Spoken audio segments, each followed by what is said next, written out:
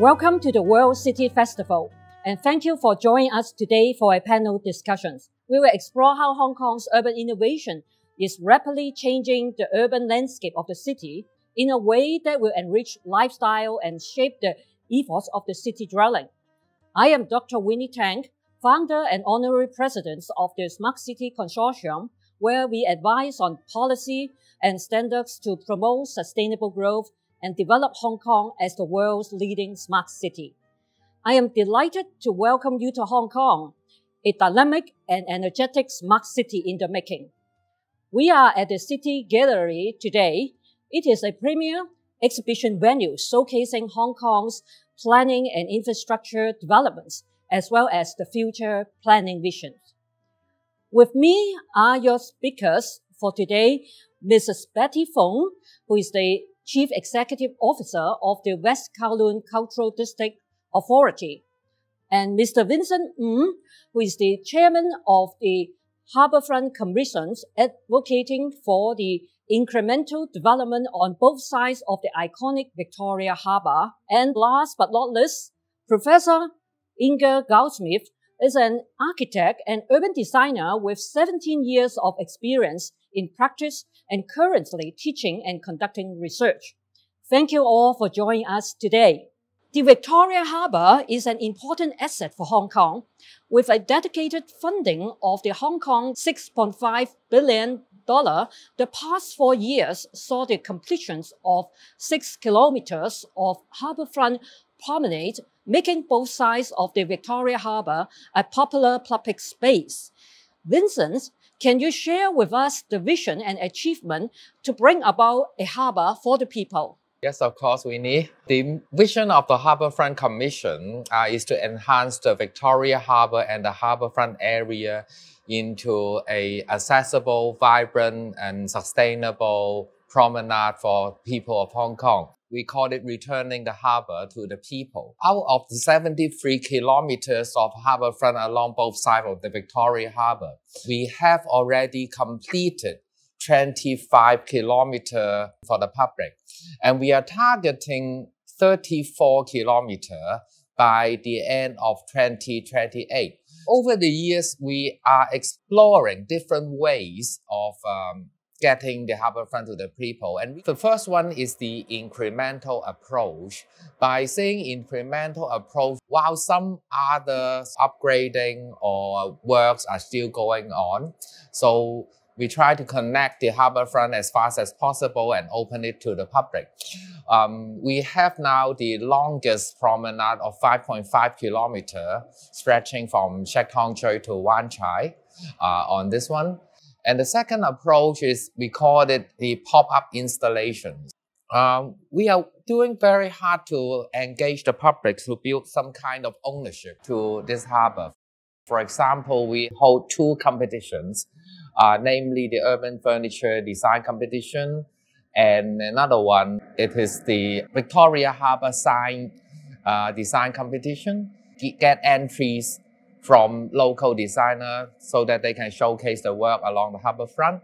Uh, we also recently opened a uh, urban farm in Kennedy Town, which is also operated and managed by an NGO. We're continuing to treat our harborfront as an experimental ground to try out new ideas, which will be fit for smart people. This kind of urban innovations will certainly uh, upgrade the well, quality of life for Hong Kong citizens.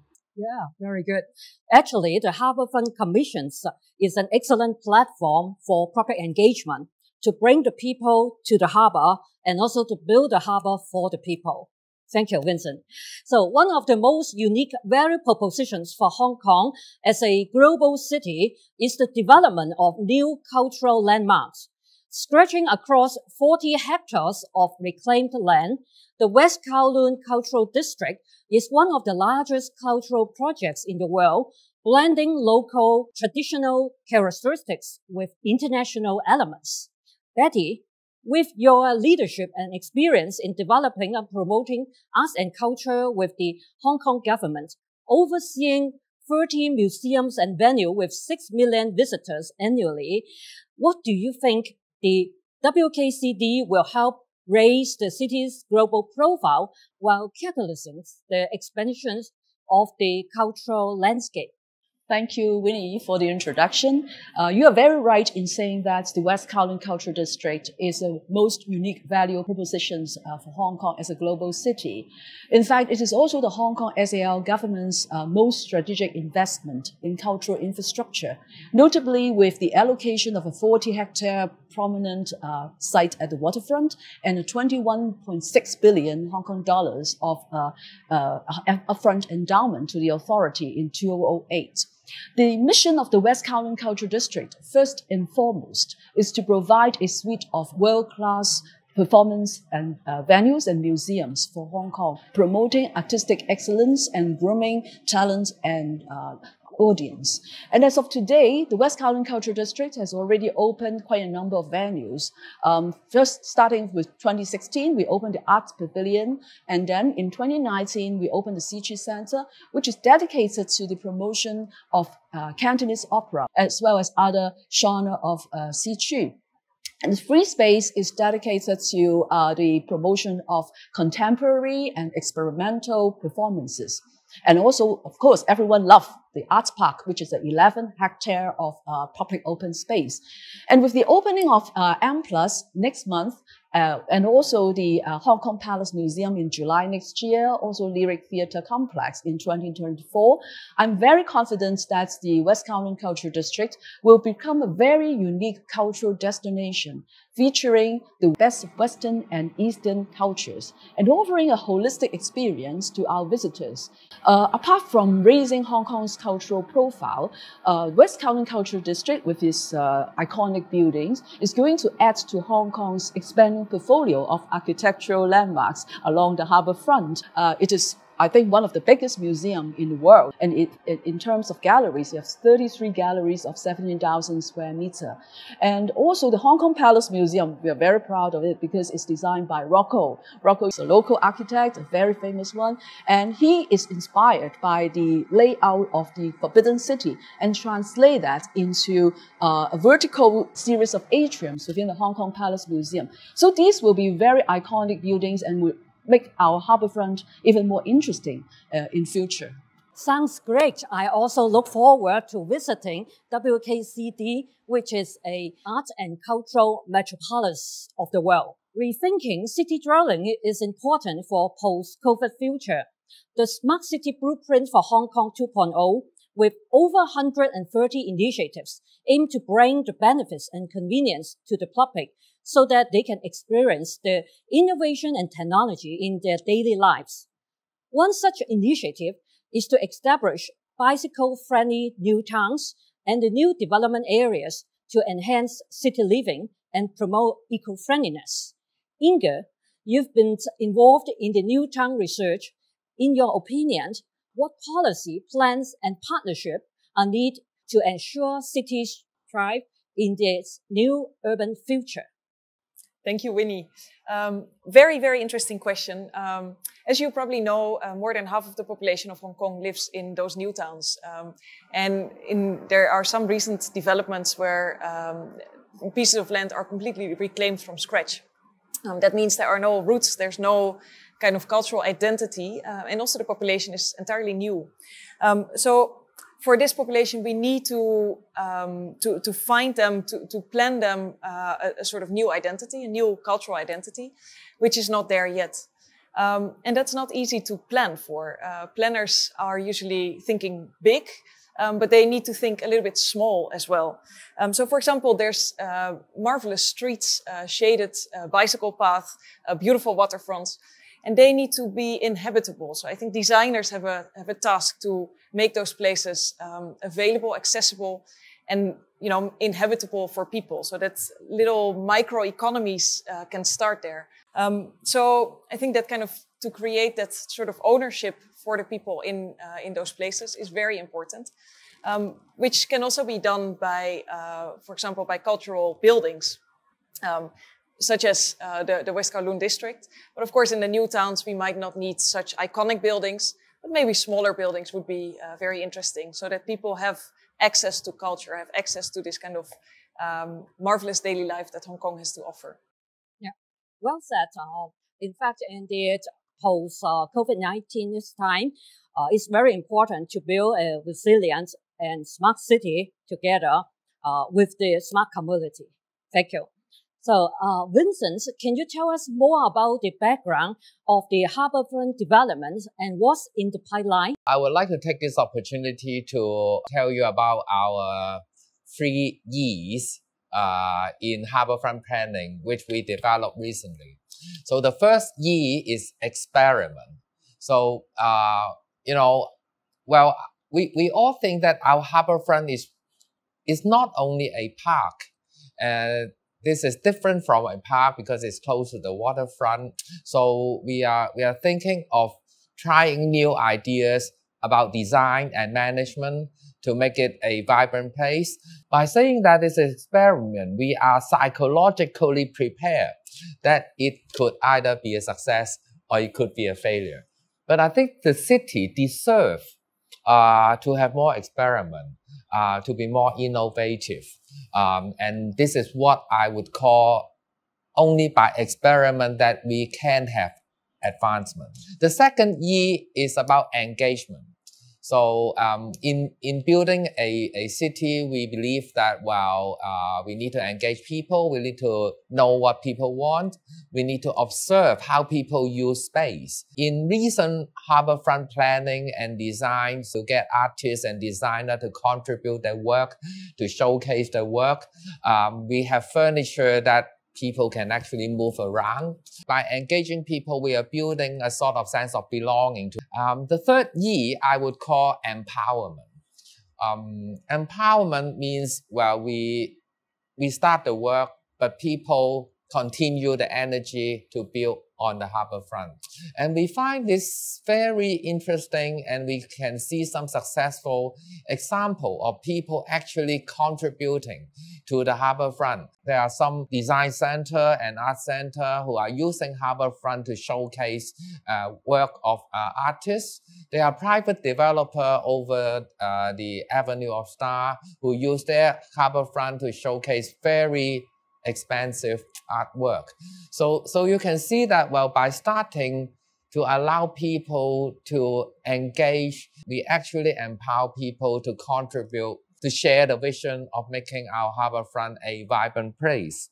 We are starting a big project, eastern part of Hong Kong Island, that is building a boardwalk underneath the island eastern corridor. Uh, that will be a two kilometer long uh, Harbourfront Boardwalk, uh, which will be a first of its kind uh, in, in Hong Kong. Um, when this is completed in 2024, we will be able to connect the entire northern shore of Hong Kong Island from Kennedy Town to Shau Kei Wan, and that will be a 12 kilometers continuous promenade.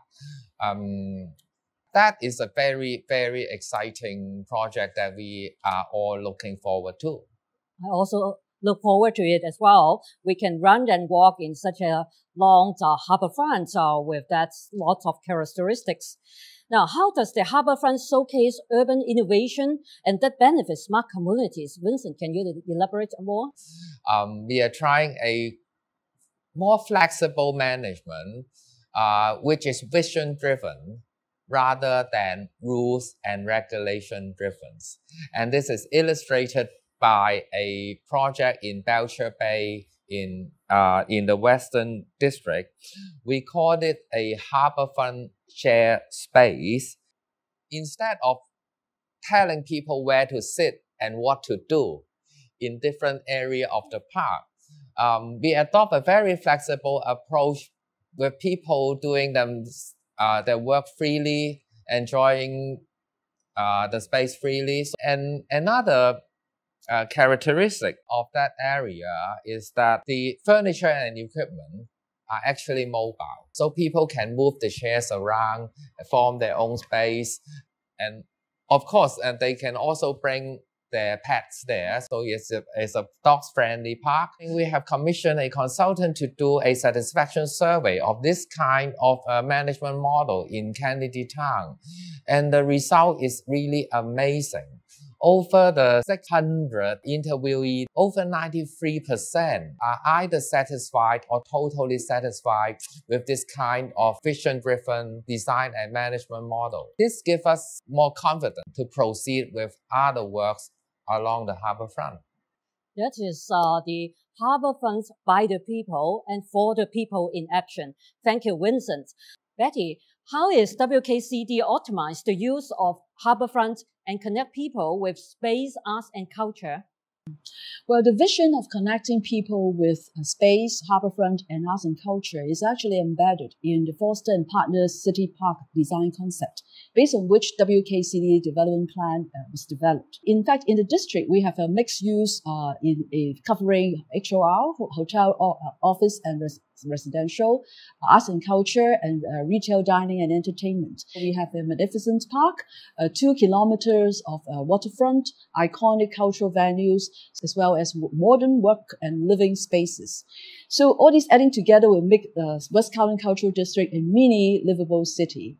And under the design concept, um, there are all the vehicular traffic and car parking spaces will be located in the integrated basement and the underground road, which means our visitors can actually roam freely within the district without being bordered by traffic and uh, pollution.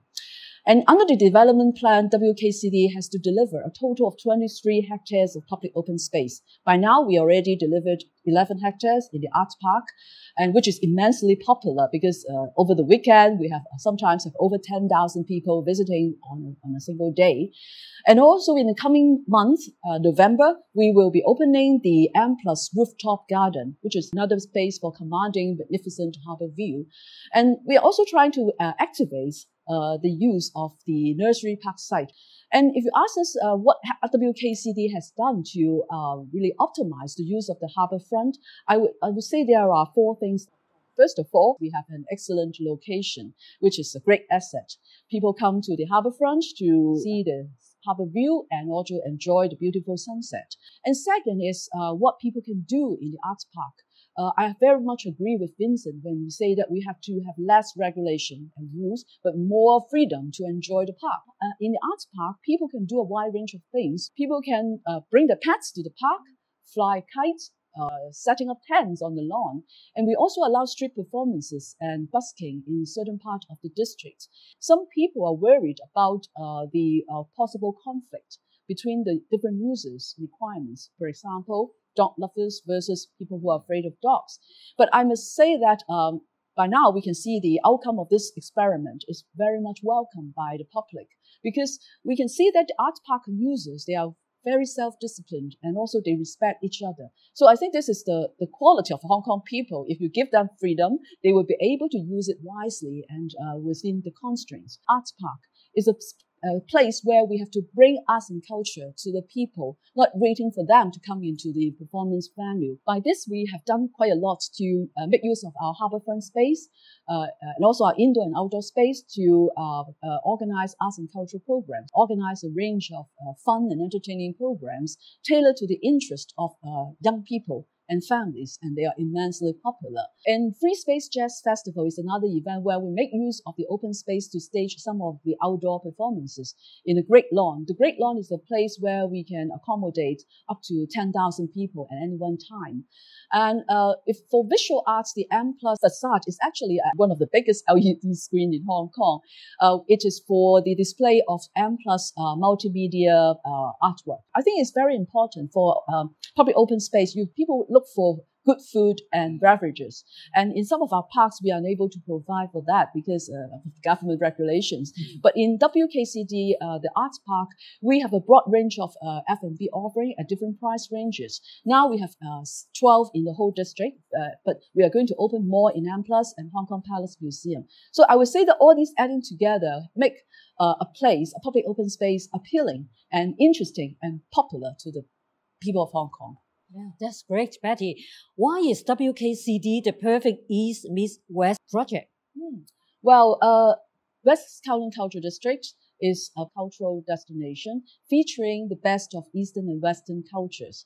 And for example, the Hong Kong Palace Museum, uh, of course, is a collaboration between West Kowloon Cultural District and the Palace Museum. In addition to displaying the national treasures from the Palace Museum, it also aims to advocate dialogue among world civilizations through partnership, through exhibitions. For example, uh, by 2022, we will be uh, uh, having some exhibitions in collaboration with Liechtenstein Palace uh, Museum. And we're also looking at possible collaboration with uh, museums in Turkey, in Israel, and Middle East, as well as other museums in the mainland China. It will be showcasing not just work from Hong Kong, but Greater China, Asia, and beyond. Yeah, and to nurture artistic talents and supporting creative industries as well. Thank you, Betty. So, Inge, since uh, Vincent has mentioned about Kennedy Town, may I ask you about your thoughts on the Kennedy Town harbor front? I think Kennedy Town is a, a marvelous place. I really enjoy going there. I'm a frequent visitor myself. I take my children there. And um, what I like so much about it is that indeed it allows people to be creative to come up with their own space, to create their own space and their own sort of identity in that sense.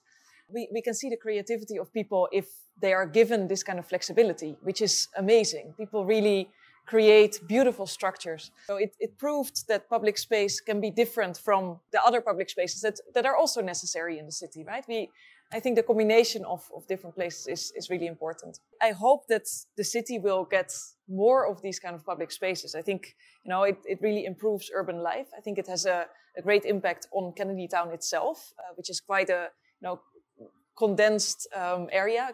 Um, but people now can go out in this entire waterfront, and of course they can easily walk to Central, etc. So that really improved uh, the entire area. Should smart communities be prioritized over smart city? Um, in general, I think we should always prioritize people over hardware, over cities. Um, that's people are eventually the ones who make the city. So I think they are more important. Um, and what I find sometimes as designers, as policymakers, as planners, we tend to think a little bit too much in the numbers and we tend to forget a little bit uh, the experience on the ground. Eh? What is really happening? How do people respond to it? Because eventually, what we are designing is their life. Their, you know, it influences their daily life. Uh, that it's not only about how many houses we build, how many streets, uh, how many cultural facilities. What do those cultural facilities do to people? How, how can people interact with them? How is the space, the public space around those uh, those buildings? How is that designed? How do we invite the local community, not only the international community, but also really the people who live in Hong Kong. How do we invite them to use public space? And I think that is very important to make this city a lively, lively place. Totally agree with you. Thank you, Inge. What are your predictions for how the city and Hong Kong's urban area will continue to develop over the next 10 years? Betty? Well, uh, given our aging population and uh, the next generation's emphasis on work-life balance, I would say Hong Kong really need more public open space mm-hmm. for gathering, for exercise, for relaxation, and even ideas generation. So uh, we have to catch up a lot with the provision of more public open space. And I also envisage that public open space will no longer be isolated pockets of land. They have to be connected in order to create greater synergy. And uh, I think arts and culture will also be a very important component in all our uh, public open space, not confining to arts installation, but more on the visual and performing arts side. Uh, well, uh, personally, I have a vision of really connecting WKCD with uh, the other major cultural institutions in the Sha Tsui area uh, to become a strategic cultural corridor.